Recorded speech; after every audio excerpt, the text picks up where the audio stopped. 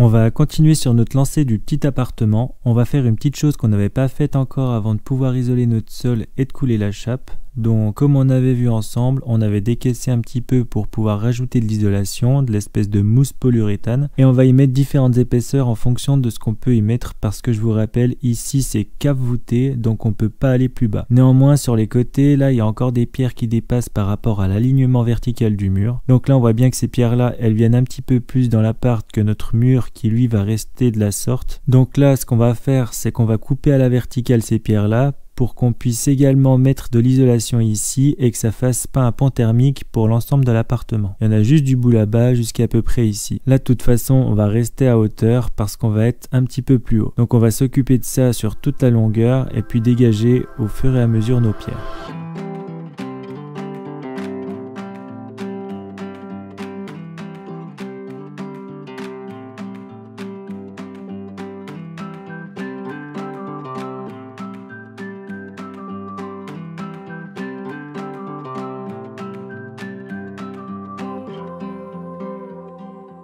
Peut-être pas descendre trop bas non plus parce que de toute façon on va remettre un petit peu de cailloux pour égaliser sur l'ensemble parce qu'il n'y a pas les mêmes niveaux entre là et le bas ici par exemple. Et puis pour mettre notre isolation ce sera mieux d'être au même niveau pour que la plaque de TMS elle soit bien prise sur le sol.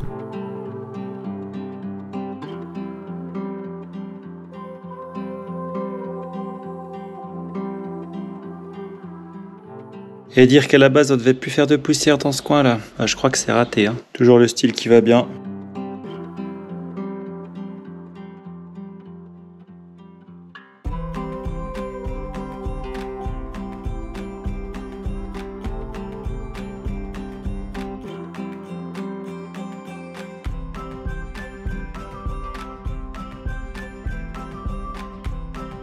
Bien clean sur toute la longueur. Maintenant voilà, ça fait encore de la pousserotte et des gravats qu'il va falloir débarrasser.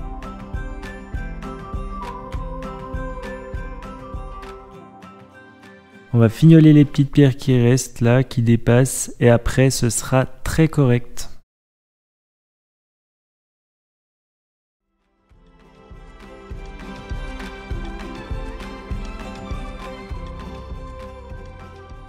Alors là, on est en train de débarrasser un peu la pièce pour faire des plans sur la comète des différentes parties de cette pièce pour prévoir nos évacuations parce que les évacs du bas du petit appartement qu'on est en train de refaire là vont dépendre de celle-là et notamment du chiotte avec son évac de sang. Donc on va tout tracer au sol, on va essayer différentes façons de faire pour voir et après on essaiera de trouver une façon définitive même si on a déjà notre petite idée.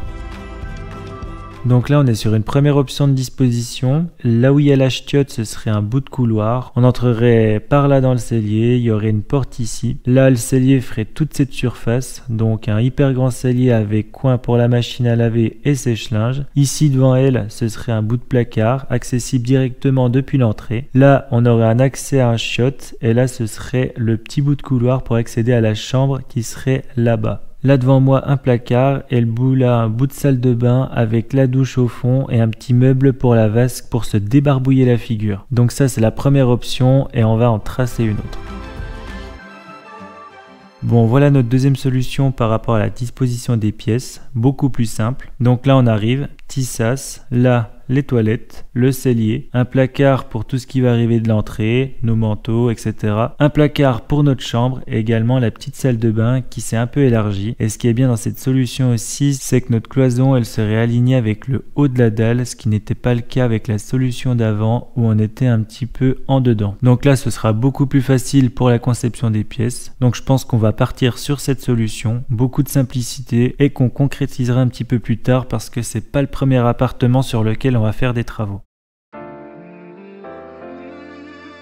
Là, on va s'attaquer aux évacuations. Donc les shots d'abord, parce que là, ça va être évacuation de sang. Quand je dis sang, c'est le diamètre de l'évacuation. Et donc, c'est l'évacuation principale sur laquelle on va raccorder le plus de choses. Et puis, vu que le petit appartement du dessous sur lequel on a commencé va être tributaire de cette évacuation-là, bah, on va commencer par celle-ci et faire en fonction pour aller jusqu'à l'endroit où je vous montrerai tout à l'heure, où il y a tous les tuyaux qui doivent rejoindre l'évacuation finale du village. On a posé notre laser pour être dans la continuité du mur là pour avoir une simulation de la cloison ici plus tard. Donc là on a pris 7 cm pour la cloison et après on a pris la moitié de la largeur du shot, c'est-à-dire 90, donc 45. Et là, en bas, au niveau de notre dalle, on tombe pile entre deux poutrelles. Donc là, on est impeccable par rapport à ça, donc on va pouvoir faire notre trou correctement.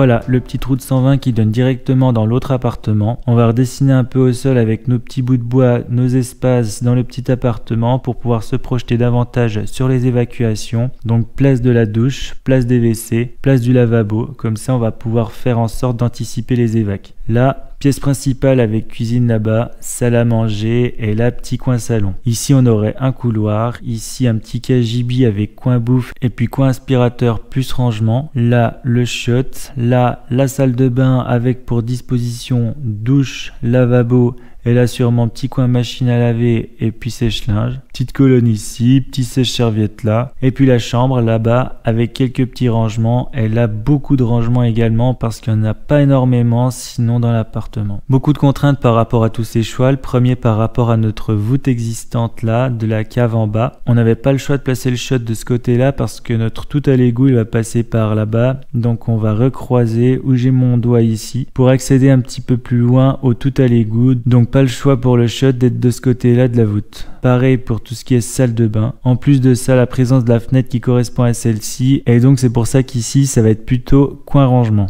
Faut savoir également qu'à partir de là, on va surélever le sol pour toute la partie là parce que là, ça va être le sol fini qui correspond au seuil de la porte là-bas. Et ce seuil fini là, il touche quelques pierres là, donc on n'a pas le choix de remettre un petit niveau en plus ici pour pas trop trop s'embêter. Donc là, on va repartir de notre trou qu'on a précédemment fait tout à l'heure. L'évacuation qui va descendre ici, elle va repartir là-bas et on va refaire passer dans le trou qu'on va faire ici et qui va rejoindre la pièce à côté. Donc en fait, faut bien qu'il y ait une pente entre là et là. On va devoir recreuser un petit peu la terre à ce niveau-là pour qu'on ait quand même la place de le mettre en dessous du niveau du sol fini qui est au niveau de la lumière laser là. Et puis après, on va s'attaquer au trou ici et puis à tous les autres trous qui vont permettre d'aller au tout à l'égout.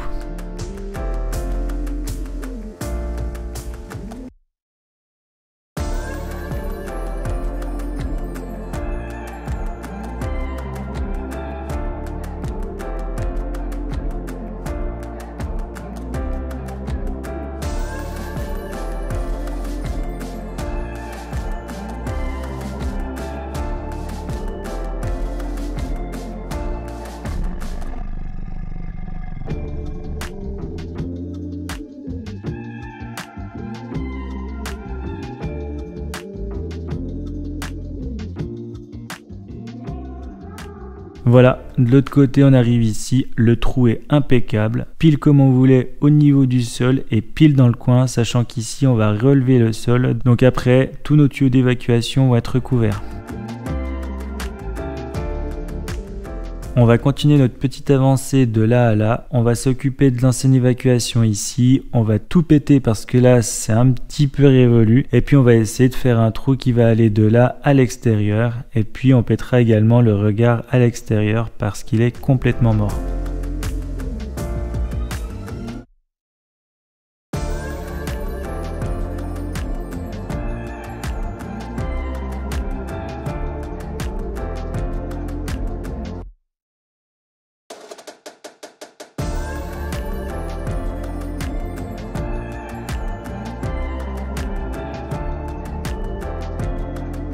Commence à être profond ce petit trou, hein. Et ça, ça bouge pas un gramme. Pourtant, c'est ce qu'on voudrait enlever. Peut-être qu'on va aller attaquer de l'autre côté un moment.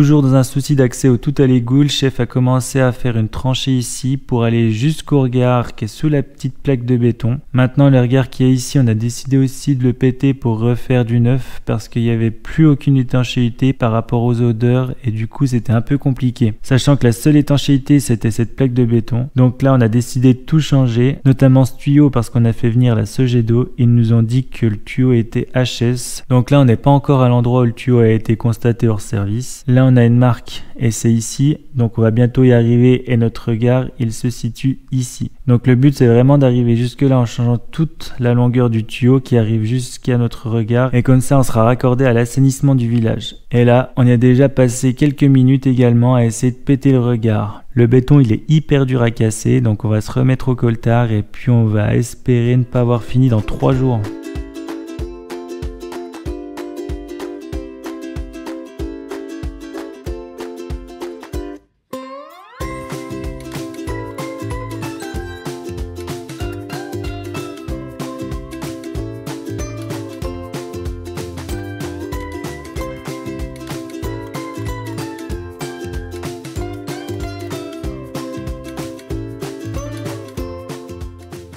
Voilà, on voit enfin le bout du tunnel. Tunnel qui va être complètement éclaté, donc on ne sait pas forcément la cause exacte, mais on le devine.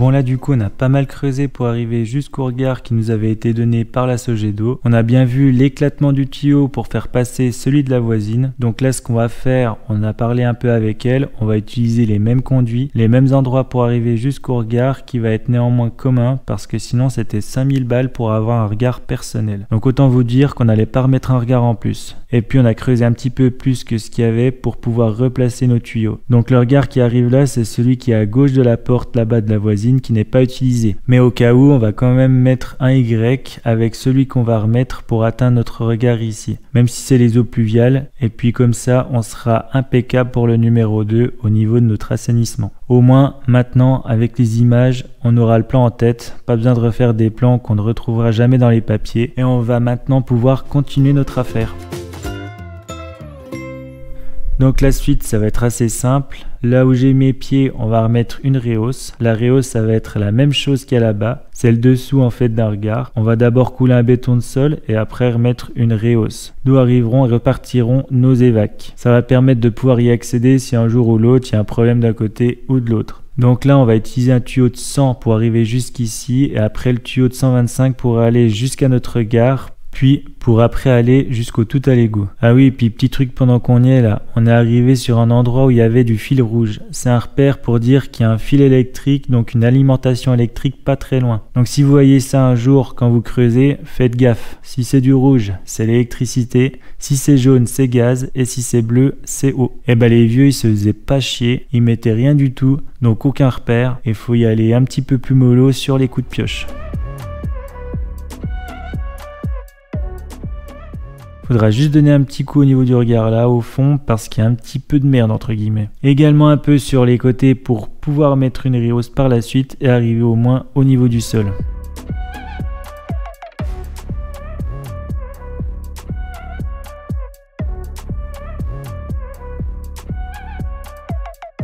On va commencer à amener du sable là-bas vers nos évacuations pour pouvoir caler les tuyaux.